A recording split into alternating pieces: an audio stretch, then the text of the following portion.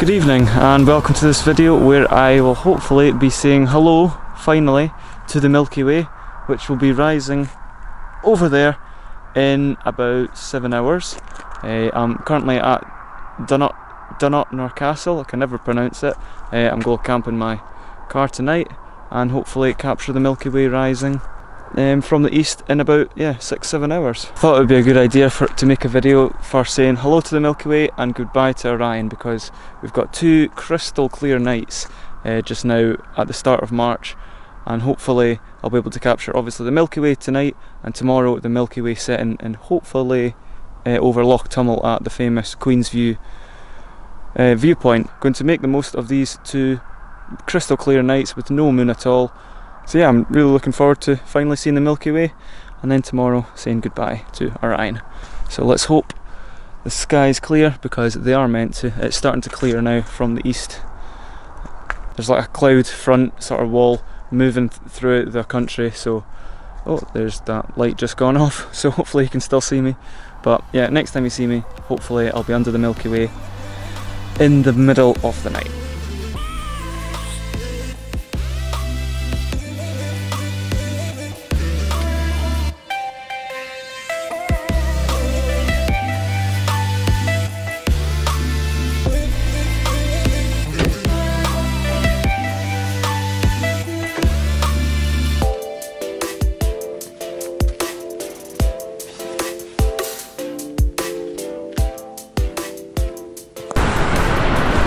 Right, okay, so it's now about 3am and the Milky Way is out, it's nice and clear skies.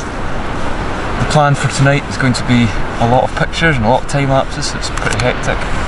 So I've got a time lapse going now which will hopefully get obviously a nice time lapse, uh, star trail image and hopefully some obviously nice stacked image as well. So taking this, oh, excuse my lighting taking a time lapse is pretty good for so many pictures since I can get a star trail from it. Uh, obviously the time lapse and then I can take about five pictures out of it, five to ten pictures out of the time lapse and stack them and then I'll just get a single image of just a nice stacked image of the Milky Way core. It is quite busy here tonight, um, it is quite a famous location for Milky Way pictures because it's such an iconic location. So there's another photographer here just now and I'm meeting again uh, Kim Grant from Visualising Scotland. She's wanting to capture the Milky Way as well. So she'll be along, so there might be a, a lot of lights going about which is quite kind of a nightmare but it's shootable, you just have to kind of everyone's got you know photographers etiquette you just kind of dim your lights pretty much and just good to see the Milky Way core again it's still about two hours before the actual core comes up so that's why I've started the time lapse now so the time lapse will show the core rising. And also as well if I forgot Venus will rise as well which will be pretty cool. So it'll be nice to see Venus again. But yeah so the plan is for the time lapse, star trail, stacked image, a panorama with with the Milky Way arch and also a 360 panorama which I think could look pretty cool as well with the Milky Way core.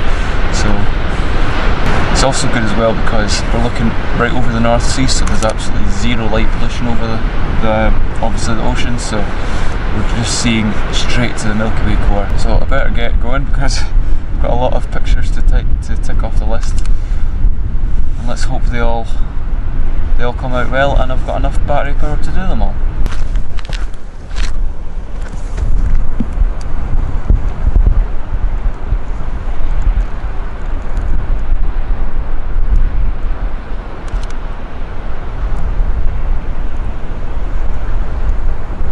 So now I'm just setting up my panoramic rig, if I can focus it, uh, which is the rig that I use for the 360.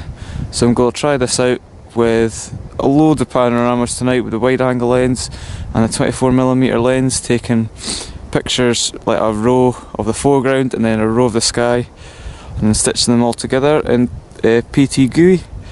So I've just set all this up and I'm just about to head over to the castle which is over there and you can just see the Milky Way starting to come up a wee bit more there is also a photographer as I said over there so I'll try to keep my lights as to a minimum as possible but yeah so just getting the the rig set up and we should be good to go to capture capture some Milky Way panoramic arches. And here's the 360 panorama at the location. As you can see the core and the arch just stretching right over the sky. Unfortunately the light pollution of Aberdeen gets in the way, but I can't help that. Absolutely no clouds in the sky, you can see how clean it is. You can't tell where it's stitched, so it just shows you that complicated tripod and the parallax nodal bar really makes a difference as it just makes such a clean image. But yeah, just unfortunate about Aberdeen's light pollution but you can't help that. But very, very happy to finally get a 360 with the Milky Way core.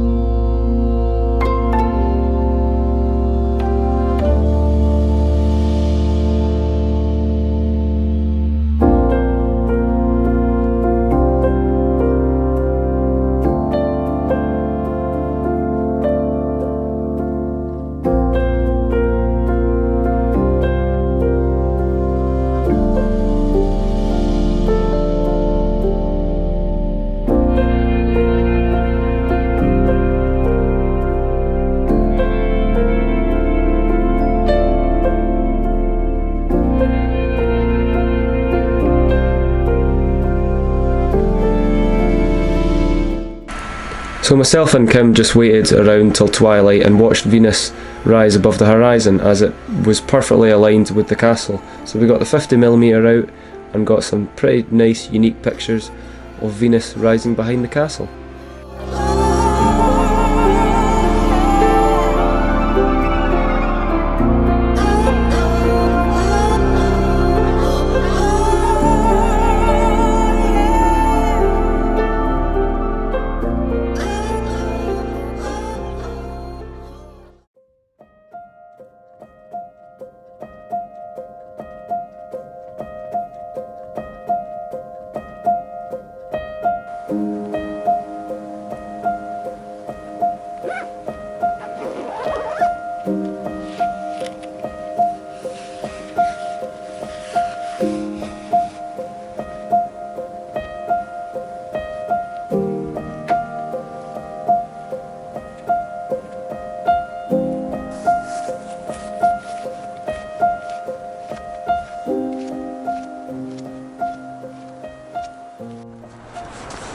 Back out again.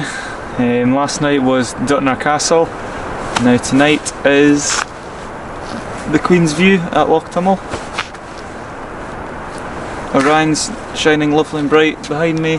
Absolutely no clouds in the sky.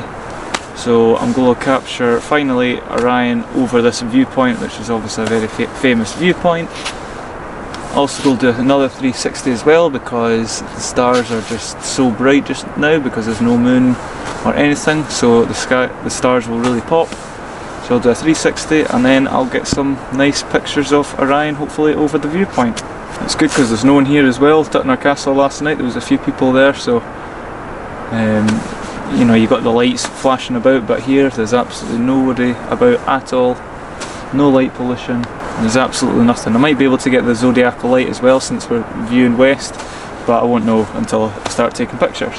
So I'm going to quickly do the 360 while the stars are nice and high in the sky and then when Orion sets a wee bit lower to near the loch view so it sits nice just above the loch then I'll take um, the normal stats pictures that um, that pretty much I like. It's quite warm as well, it's only about 1-2 degrees which is quite nice. I'm in trainers and you know kind of joggies so it's really not that cold for this time of year so it makes for some comfortable astrophotography. So let's get the 360 ticked off the list.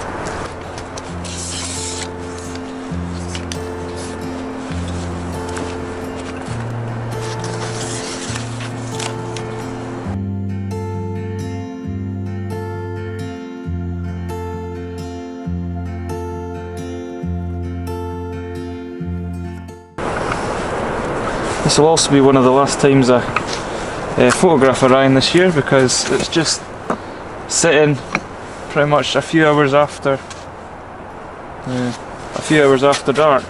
So only a few maybe this month is the last month for Orion and then that'll be it. That'll be out the sky for the year. So that's why I'm making the most of it now.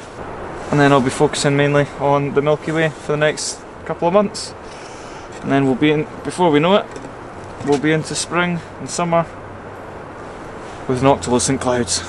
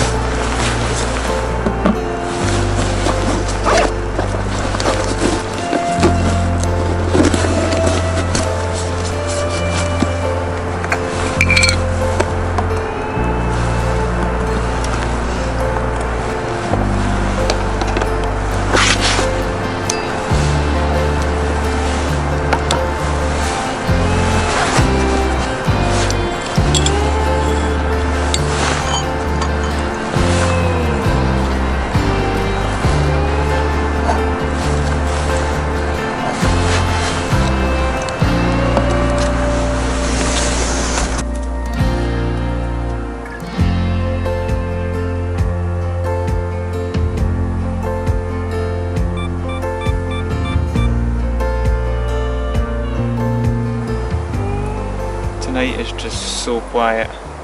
There is no wind whatsoever. The loch is flat calm in front of me.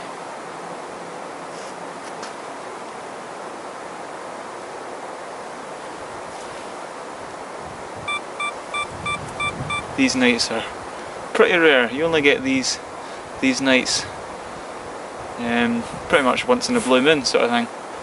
They're not that common that you get. It's not freezing, no wind, and not a cloud in the sky. Wow. Just have a look down the loch. Wow. Look how bright then stars are glowing. The loch's obviously down there somewhere. This must be some of the darkest skies in Britain. Wow.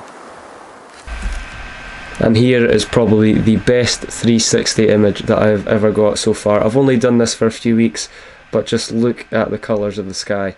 This is what you get when you go into really, really dark skies. The colours just pop, the sky is just crystal clear.